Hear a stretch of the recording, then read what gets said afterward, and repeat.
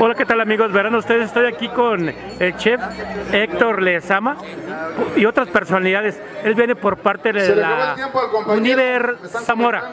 Chef, eh, ¿qué trabajo consiste el de ustedes en esta feria de la pera? La del palo encebado hacer una y participación me comentan que ya este, y va a ser sin lazo. al, al- al pueblo de, ¿Qué es sin de la cantera la se le preparación acabó de el tiempo, compañero, una una pera que ellos tratan de volver a rescatar en este Es festival. de los la la coordinadores y cantera, en el cual nosotros desarrollamos una preparación de varios platillos utilizando la pera y el durazno y el membrillo de, de la cantera, el cual elaboramos platillos y tratamos de motivar a la gente a que siga utilizando el producto que en realidad se tiene que rescatar. Así es. ¿Y la propuesta de ustedes en concreto cuál es ya?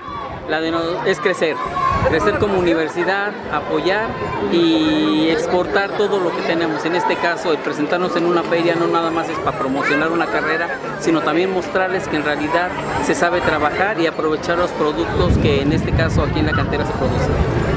Pues, Es decir, la vinculación con, Vinculación con eh, los pueblos este, purépechas. con las comunidades. Exacto. Y, y te- nos acompaña aquí también el Bueno, presidente municipal subir dónde? más rápido, de Cotija. Ah, ¿Qué nos puede decir de este trabajo? Ya que al compañero se Bueno, le pues este, de entrada me parece tiempo, muy interesante Y pues eh, igual, la se da la manera en que que si utilizaron primero, pues adelante. productos originarios de esta región adelante. y lo que han hecho con ellos, o sea, la, la alta comida o la comida de, de- gourmet puede aprovecharse con los productos eh, originarios de los pueblos de Michoacán y sobre todo de este pueblo de la cantera que tiene, que tiene muy buena tradición y que tiene un producto.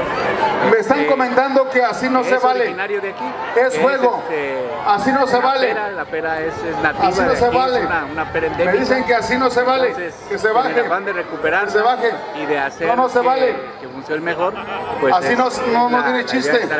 Es cuestión de Sí, fuerza. lo que nos comentó aquí Es cuestión de nuestro chef, abrazarse. precisamente el aprovechamiento pues Que de este tipo de recursos Vamos a dar nuevos y darle un sentido pues más Bájense, progresista, más formal, Bájense. más industrializado. Los dos. Bueno, no Lo me que queda más que dar las. Ser compañero, gracias aquí primero, en lo que bajes lo que se llamamos Feria de la Pera, aquí en la comunidad mejor, de la cantera, Bájense. municipio de Santiago Tangandaco. Muchísimas gracias. Tienen que intentarle nuevamente sin